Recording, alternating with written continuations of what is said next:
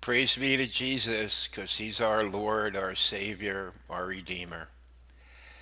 Well, uh, you might say to yourself, why in the world are you posting this video? It's disgusting, and that it is.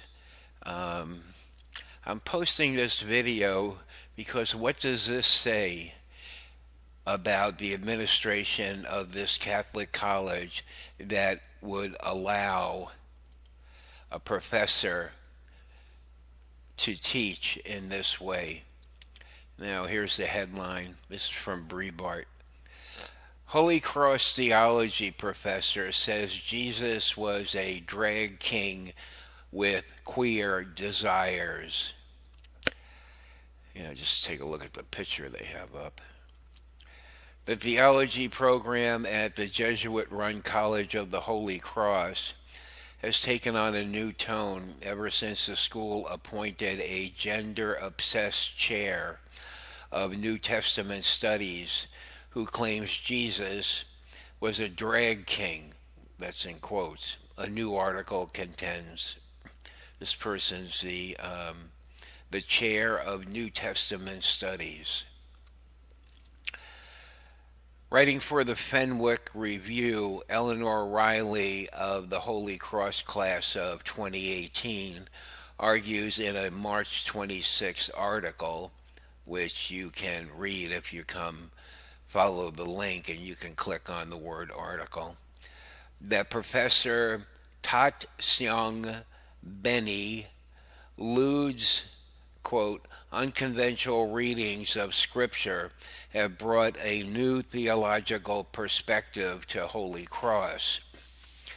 Letting the facts speak for themselves, Ms. Riley suggests that, quote, the centrality of sex and gender to his way of thinking about the New Testament, unquote, significantly colors the way that Professor Lude's Oh, this last person's name is Liew. Okay. All right. Um, significantly colors the way that Professor Liew presents Jesus Christ to students at the Catholic College. In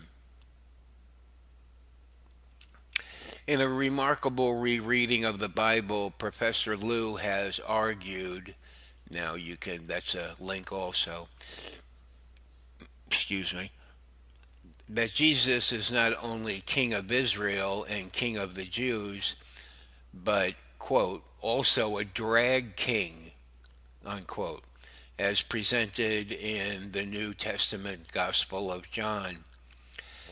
Um, St. John's constant references to Jesus wanting water, giving water, and leaking water. I don't know what the world is. Leaking water quote, speak to Jesus, Jesus' gender indeterminacy. Yikes. And hence his cross dressing and other queer desires, Liew con, uh, content, uh, contends. Reading everything through the lens of gender, Professor Liew finds sex in the most unlikely places in the life of Jesus. The episode of Jesus washing the feet, the apostles' feet at the Last Supper, for example, is suggestive, like a literary striptease, and even seductive, because it, quote, shows and withholds at the same time, he claims. Well, this article continues. I don't think you need to read it. You know, if you want to be more disgusted with um, uh, even more than you are now, you can read the rest of this.